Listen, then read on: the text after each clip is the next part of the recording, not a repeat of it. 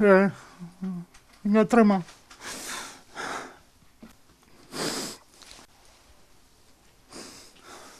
so che devo fare più.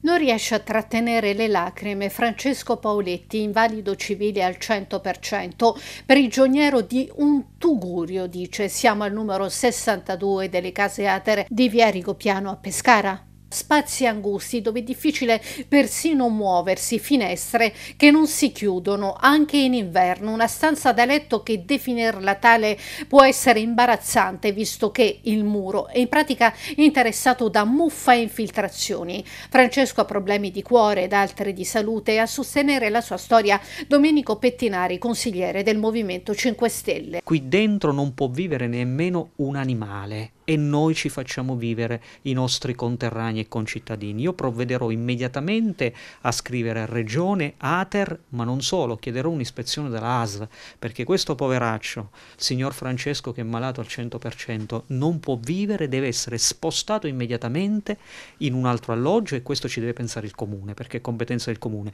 Questo alloggio deve essere ristrutturato, deve essere messo nelle condizioni di poter ospitare degnamente gli umani perché qui neanche le bestie possono vivere. Mi auguro che si faccia presto, questo caso lo porteremo anche alla ribalta delle cronache nazionali che già si sono mostrate interessate, ma io vorrei che chi governa Regione Abruzzo si vergognasse di fronte a queste cose. A me ho fatto la domanda al comune, dopo tre mesi mi hanno dato questa casa, ma non era così, era bella pitturata, io l'ho accettata.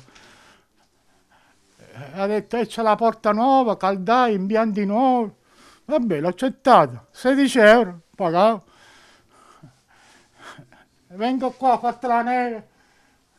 Qua, 5 anni fa un macello. Ma è vero che le finestre non si chiudono? No, non si chiude, entra l'aria da qua e esce là. E questo è il suo letto? Sì. Io mi auguro che dopo che veda questa situazione la regione, il presidente di regione, perché l'ATER dipende dalla regione, mettano subito i soldi necessari e ristrutturino questa abitazione. Grazie. Ora voi, che Dio vi benedica.